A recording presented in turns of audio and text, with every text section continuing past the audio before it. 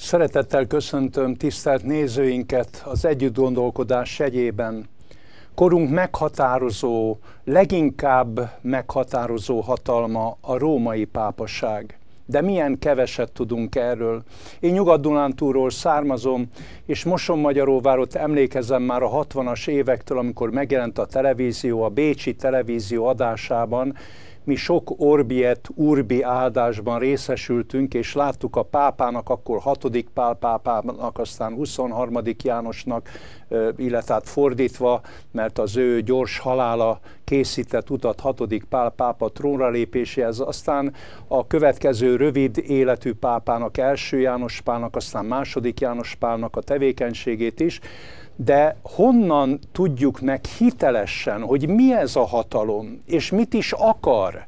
A mai világban is, hogy a pápa az egész világ vezetőit összehívja, és az előző pápa is 16. Benedek, hogy átadja a Caritas in Veritate című enciklikáját, ugye Szeretet az igazságban című enciklikáját az amerikai elnöknek angol nyelven, mint egy felszólításként, hogy most már hozzuk létre azt az egységes világvezetést. Mi a lényege ennek a hatalomnak? Ezt Isten több mint húsz proféciában kinyilatkoztatta, és mi most a Dániel könyve 7. fejezetében a fenevadról szóló proféciának abban a részében vagyunk, amikor a Rómát jelképező fenevad a tíz fenevad fejéből kinövő szarval az európai államokat is megjeleníti, és a három szarvat kiöklelő kis szarvat is, amelyben teljes egyértelműséggel a római pápasságra ismerünk, mert különös szarv ez a kis szarv, nem olyan, mint a többi, nem olyan, mint az európai államok, nem, olyan, mint a történelmnek eddigi nagy hatalmai, az oroszlán medve, párdusz is beleértve, hanem nagyon értelmes, okos szemek vannak a szarban, és nagyokat szóló száj. És öt dolgot mond el róla a bibliai jövendőlés. És ebből már vettük azt, hogy mit jelent az, hogy három királyt fog megalázni, hogy sokat szól Krisztus helyett, úgy, hogy Krisztus nevében szól, és hogy mit jelent az, hogy a magasságos egek szentjeit megrontja, mit jelent az ő nevében elindított vallás üldözéseknek, keresztény üldözéseknek a sorozata a középkortól mind a mai napig, és a negyedik dolog, amire szeretném fölhívni a figyelmet, hogy ezt mondja a profécia, hogy ez a hatalom véli, hogy megváltoztatja az időket és a törvényt. Ez számomra talán a legfélemletesebb jellemvonás ennek a hatalomnak, a leginkább megdöbbentőbb. Mert olyan nagynak gondolja magát, hogy azt mondja, hogy ő Isten törvényei helyébe más törvényeket is beállíthat. Már szóltam erről, mert hogy a felséges ellen szól, a felséges helyében szól a felséges ellen, ott már említettem, hogy néhány alapvető bibliai rendelkezést, Krisztus tanításaiból néhány alapvető szabályt, tanítást és törvényt hogyan változtatott meg, kezdve azon, hogy ki lehet keresztény, és hogy a Bibliát lehet-e vagy nem lehet, vagy nem kell használni. Tehát már egy kicsit belekóstolhattunk a második jellegzetesség rövid szemrevételezése során is ebbe. De most itt határozottan kimondja ez a profécia, hogy ő véli, hogy megváltoztatja az időket és a törvényt. Mi az Isten törvénye? Az Isten törvénye egy mondatba összefoglalva a szeretet. A törvény betöltése, a szeretet, így olvassuk ezt a római levél 13. fejezetében. Hát persze, hogy megváltoztatja ezt a törvényt, hogyha az el, elmúlt alkalommal arról beszélhettem, hogy üldözéseket is megenged magának, fizikai kényszer alkalmazását is megengedi magának. Hát persze, hogy a szeretet törvényét egészen más felé fogja vinni. Azt mondja, hogy a szeretet nevében mondjuk el lehet ítélni embereket, meg lehet égetni a mágián embereket, kerékbe lehet törni embereket, el lehet ítélni, bör, be lehet börtönözni embereket. De itt a Biblia talán még többről szól. Mert tudjuk jól, hogy a törvényt a Biblia kimondja itt egy mondatban, hogy a törvény betöltése a szeretet, de kimondja aztán két mondatban is, hogy Jézus is, amikor megkérdezték, hogy mi a fő parancsolat, mondta, hogy, hogy hát hogy olvassátok ezt, már Mózesnél világos, hogy mi a két fő parancsolat, ezt a, a szeretet törvényét hogyan lehet két mondatban is, vagy két szakaszra bontva is elmondani, hogy először szeressük meg azt, akitől csak jót kapunk, az Istent, és hogyha megszeretjük azt, akitől csak jót kapunk, akkor tudjuk szeretni azokat is, akiktől nem csak jót kapunk. Tehát az Isten szeretet és az ember szeretet tágítja azt az egy mondatban megfogalmazott törvényt, most már egy kicsit részletesebben mutatva be, hogy ez tulajdonképp hogyan is valósul meg az ember életében.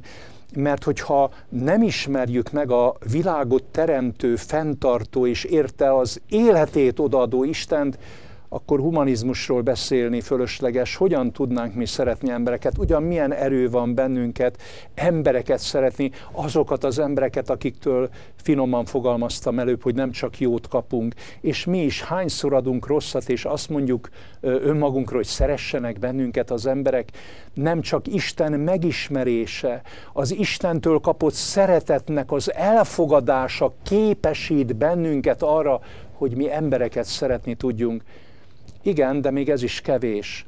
A Biblia tovább tágítja ezt az egy mondatban vagy két részre osztott törvényt, és mindenki ismerheti a fogalmat, sajnos csak a fogalmat ismerik, a tartalmat kevésbé, hogy van a Bibliában tíz parancsolat. A tíz parancsolat.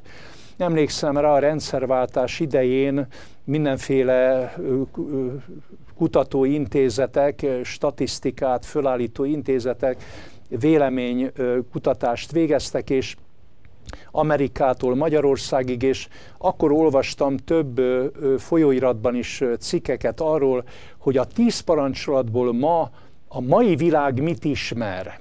Hát a legnagyobb ismertsége a ne lopj parancsolatnak van, valami 67-70 százalékos. Tehát persze olyan világban élünk, eh, ahol dolgozunk, eh, vagyont, ingóságokat szerzünk, pénzt gyűjtünk, és hát nem vennénk jó néven, hogyha ezeket csak úgy elvenné tőlünk bárki, tolvaj, rabló, vagy akár az állam, vagy bárki, vagy háborúk, vagy járványok vinnék el. Ne lopj! Hát ezt nagyon sokan ismerik. Kétharmados az ismertsége. De már mondjuk egy olyan törvénynek, ami az első parancsolat, ami elkezdi ezt a tíz parancsolatot, az ismertsége, alig haladta meg a 10 százalékot.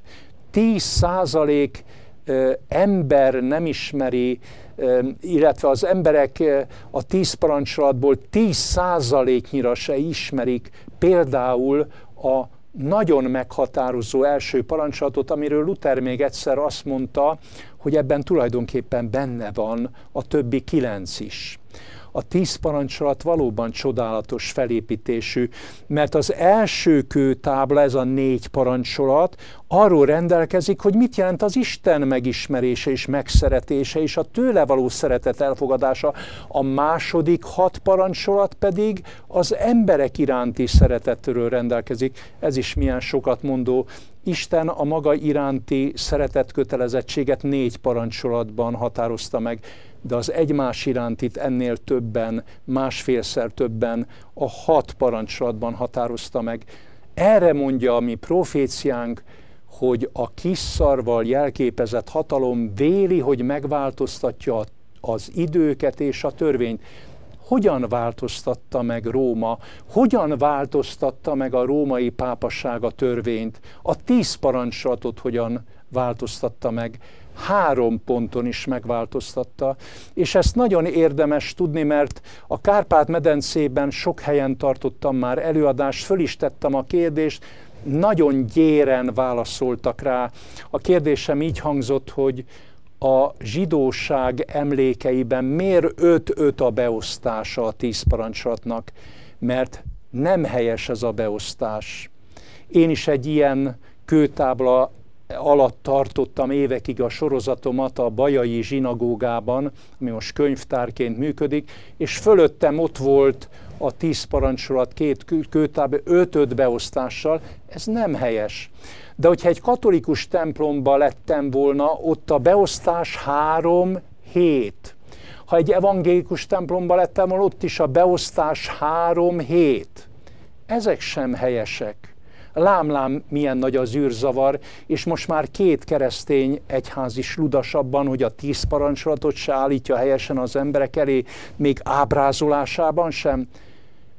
Amikor Brassóban voltam, és föltettem a kérdést, hogy miért egyedül a reformátusságtól elinduló művészi hagyomány ábrázolja ezt helyesen, helyesen, vagyis négy és hat akkor az emberek szeme felcsillant, mert persze református helyen voltunk, hogy hát miénk az igazság, mi képviseljük az igazságot. Igen, ebben igen, az ábrázolásban igen. Nagyon egyszerű, hogy miért így kell ábrázolni. Pálapostól adja meg ehhez a szövegszerűen is megtalálható kulcsot az Efézus levél 6. fejezetében, amikor azt állítja, hogy a tiszteld atyádat és anyádat, hogy hosszú ideig élj azon a, azon a földön, melyet az Úr, a te Istened át tenéked. Ez az első parancsolat az ígérettel. Vagyis a tíz parancsolat második kőtáblája ezzel kezdődik. Ez ott az első parancsolat. Hát ha tiszteld atyádat és anyádatot veszem, az, ez az ötödik parancsolat, akkor az első négy az Isten iránti szeretet kötelezettségek sorozata. És az első négyből a kis szarv kettőt megváltoztatott, mégpedig nem is akárhogyan. A második parancsolatot törölte, egyszerűen törölte a tíz parancsolat rendelkezései közül. Ezért jön majd a harmadik változtatási kényszer a második kőtáblán, mert ezzel egyel lerövidült a parancsolatoknak a száma, tehát meg kellett tartani a látszatot, mégse lehet kilenc parancsolatról beszélni. Hát a tizediket ketté vágták, teljesen értelmetlenül, mert nem kívánni a másik ember feleségét, vagy nem kívánni a másik ember vagyontárgyait, ez együvé tartozik, és ebből nem kell két parancsolatot csinálni. Na de miért törölték a második parancsolatot? Azért, mert a középkorban kifejlődő vallásgyakorlat az magába enged vette más vallások tartozékait, tehát a keleti vallásokat, az egyiptomi vallás, a perzsa, a görög, a római vallás különböző eszméit, szokásait, rítusait, és ezek megengedték az istenségnek az ábrázolását, és a második parancsat ezt viszont nyíltan tiltotta, hogy ne készíts magadnak faragott képet, ne imádd és ne tiszteld azokat, csak nagyon kivonatosan szinte a lényeget emelem ki ebből a második parancsolatból, mivel ez ellenkezésbe került a középkori vallásgyakorlattal, hát két utat lehetett választani. Vagy eltüntetni a templomokból a képeket és szobrokat, amelyek alapján az emberek nem egészen helyes képet formálhattak Istenről, Jézus Krisztusról és követőiről, vagy pedig, vagy pedig a tíz parancsatból törölni ezt a második parancsatot, mint hogyha benne se lenne. A kisszar vállalta ezt a felelősséget, törölte, és mind a mai napig törli a második parancsolatot, nem is tanítják, és Luther itt nem volt következetes, azért állapítsuk meg a nagy reformátorról, hogy azért ő is elkövetett hibákat, például a keresség kérdésében is, például a tíz parancsolat második parancsolatának kérdésében is. Itt Calvin merte megtenni a következő lépést, vissza kell tenni a hittanoktatásba is a második parancsolatot. Tanítani kell, hogy Isten ezt mondja, ha mi ettől eltértünk, akkor itt ellenünkre val Isten szava.